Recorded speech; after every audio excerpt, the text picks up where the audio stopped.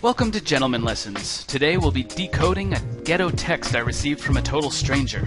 I hope you enjoy. Now, I'm not sure how often you get random texts from strangers, and I'm not sure how often they're ghetto. But I received one just recently. Let me show you.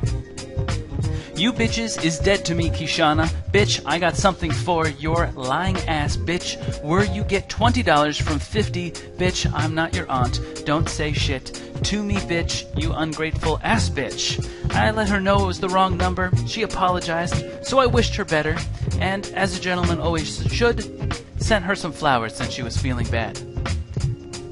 Now, really, I had a bit of a conundrum. I had no idea what she was talking about. So I gave this text message to a friend of mine who grew up in an urban environment. She understood the slang, explained it to me. So I rewrote it, coming from a gentleman. Here's how it goes. Kishana, thank you for the $20 repayment. I look forward to receiving the additional $30 that you still owe.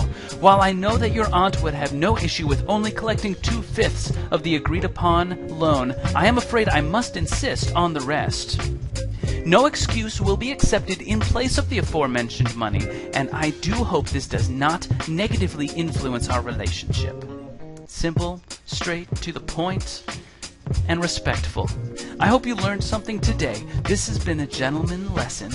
To all you gentlemen out there, keep holding those doors. And I look forward to seeing you shoes shined and ties tied.